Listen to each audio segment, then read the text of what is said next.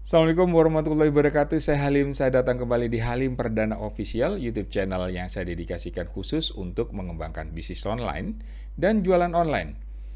Dan program YouTube channel yang saya kelola ini ke depannya akan berbicara tentang pelatihan bisnis online. Bagaimana caranya membuat WordPress, membuat blogspot, dan lain sebagainya. Tentunya bagaimana juga cara melakukan proses optimasi baik itu SEO on page maupun SEO off page. Akan saya share di sini. Dan seperti apa konsep pembelajaran yang akan saya kelola ke depannya? Kita mulai dengan bacaan basmalah. Bismillahirrahmanirrahim. Baiklah, seperti ini konsep yang saya tawarkan. Pertama, kita akan belajar tentang SEO on page. Di sini ada kelompok SEO on page di mana SEO on page yang akan kita pelajari itu ada di WordPress, ada di Blogspot, ada di Tumblr, Weebly, dan lain sebagainya, agar supaya uh, traffic itu berjalan dengan bagus, meningkat dengan baik, dan itu memang menjadi media pencarian uh, customer yang memang mencarinya. Kemudian selanjutnya dari SEO on page yang ada di website-website tersebut, apa pun WordPress, Blogspot ataupun Tumblr, kita optimasi dengan menggunakan SEO off page. SEO off page ini di sini bagian di sini SEO off page ini ada yang cara manual akan saya sharing bagaimana cara manualnya dan dengan menggunakan cara otomatis otomatis 24 jam berjalan 24 jam mulai yang bisa digunakan salah satunya yang saya pelajari ada lagi as search engine ranker, captcha breaker dan lain sebagainya. Kemudian dari hasil proses SEO on page dan SEO off page ini tujuannya adalah finansialnya adalah monetize. Posisinya di sini bagaimana cara memonetize website, bagaimana memanfaatkannya untuk proses affiliate dan tentunya bagaimana caranya mendapat mendatangkan traffic ke marketplace yang kita miliki.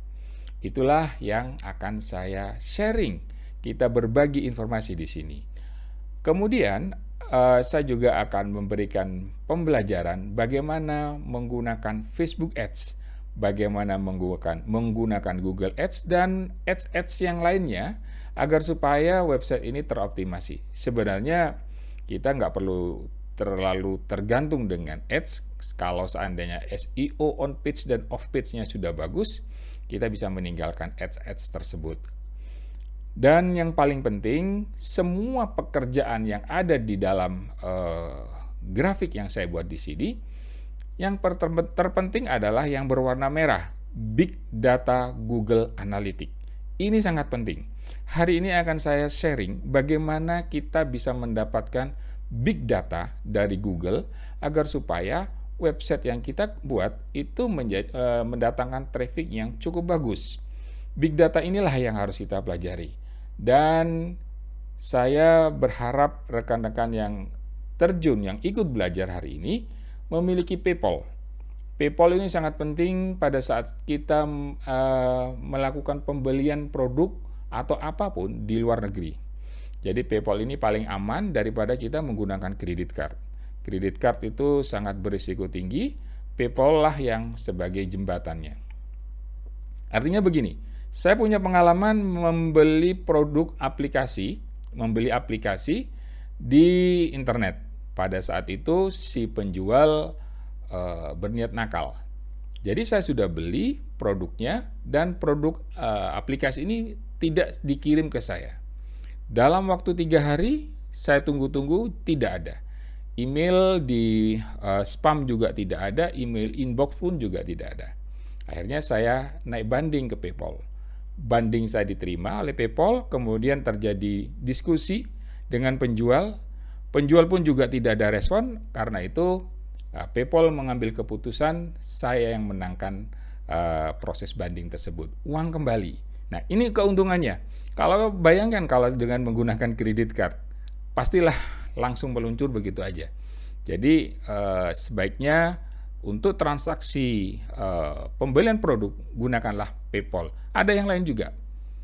Kemudian yang berikutnya eh, kita harus mengamankan sistem yang kita miliki. Contoh Facebook. Facebook itu harus kita amankan. Ya, kita dengan mengamankannya dengan menggunakan double authenticator yang ada di atas di sini, semuanya harus kita amankan. Baik itu uh, email Gmail kita maupun uh, aplikasi web dan lain sebagainya, kita harus amankan dengan menggunakan double authenticator. Baiklah, setelah secara garis besar saya ceritakan konsep pembelajaran yang akan kita pelajari ke depan, saya hari ini akan berbagi bagaimana sih caranya mendapatkan big data dari Google. Salah satu tools untuk mendapatkan big data dari Google itu adalah dengan menggunakan Ahref. Tapi sayangnya Ahref sangat menguras kantong. Yang light saja itu 99 dolar. Artinya kalau seandainya saya bulatkan langsung menjadi 100 dolar, kemudian satu dolarnya itu adalah 14.500, berarti satu bulan 1.450. Luar biasa ini terlalu besar kalau bagi bagi kita kita yang memulai bisnis online. Nah, saya memberikan solusi yaitu dengan menggunakan uh, tools yang memang disediakan oleh uh, provider di mana provider tersebut uh, membeli API dengan Ahref dan dia menjual kembali kepada kita semuanya. Nah, salah satu uh, provider yang menjual layanan Ahref ini adalah Pro SEO Tools. Inilah yang harus dibeli. Pembeliannya dengan menggunakan PayPal atau juga menggunakan kartu kredit. Saya lebih suka PayPal. Uh, kalau ada pertanyaan bagaimana cara menggunakan PayPal, akan saya buatkan tutorialnya bagaimana cara membuat PayPal dan bagaimana juga caranya mengamankan PayPal agar supaya tidak dihack oleh orang lain. Uh, saya anggap kita semuanya sudah membeli uh, Pro SEO Tool di sini. Saya akan login.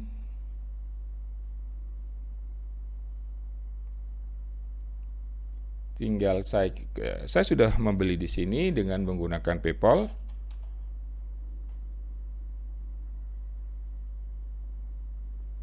Oke, ini adalah tools yang cukup bagus dan dia menggandeng semua Eh, beberapa tools yang bagus, banyak tools-tools yang bagus di sini dengan menggunakan API di mana ada Ahref, ada SEMrush, ada keyword keyword revealer dan semuanya.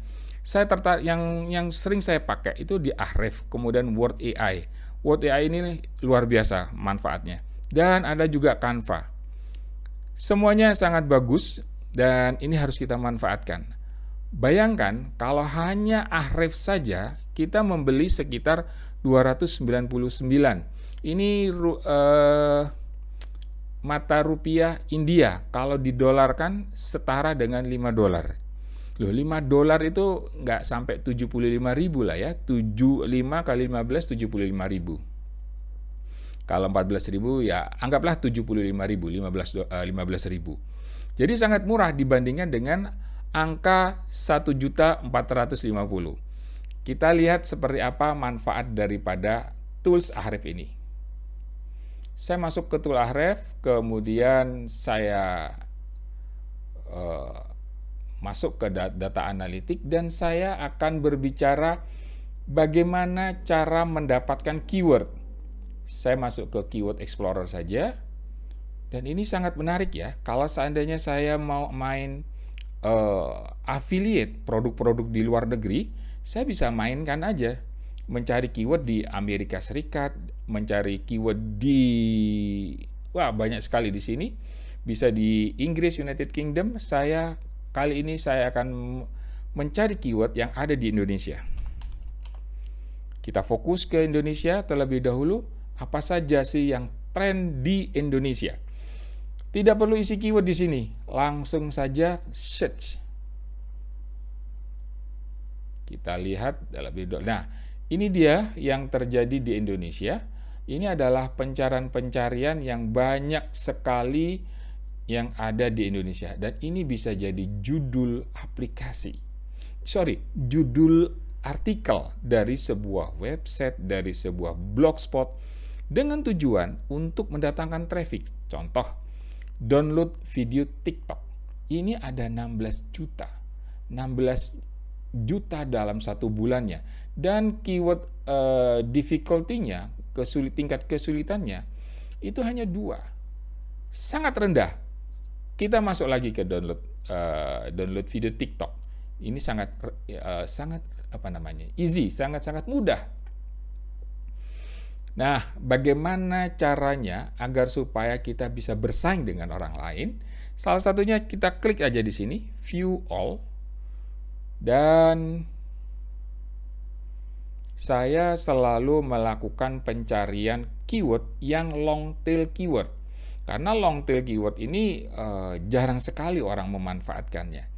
Salah satu contoh ini ada download video TikTok tanpa watermark online. Pertama, volumenya ada 96.000 per bulannya dan di sini global search-nya itu ada 97, lumayan bagus dan ini ada tiga untuk uh, traffic potensialnya itu adalah 34. Luar biasa. Kita blok aja dulu. Ya. Setelah diblok, saya akan masuk ke salah satu. Saya selalu melakukan all in title. Ini salah satu contohnya saja. Saya hapus ini daripada saya ketik banyak. Ctrl V, Enter, di sini ada 201. 201 yang menyediakan informasi tentang keyword yang ada di sini. Download video TikTok tanpa watermark online. Sekarang yang mencari itu ada 96.000. Kemudian yang menyediakan dalam bentuk website hanya 201. Bayangkan, ada 201 yang menyediakan sedikit sekali, tetapi yang nanya itu banyak, ada 96 ribu dalam sebulan. Nah, kalau seandainya saya berada di 202 website saya, anggaplah yang pertama yang baru muncul itu berada di 202. Nah, 202 itu ada di peringkat yang keberapa? Kalau seandainya dalam satu tampilan ini ada 10, berarti saya sudah ada di halaman ke-20. Sederhananya, saya sudah ada di halaman 20. Selanjutnya, kita tingkatkan agar supaya berada di halaman 1.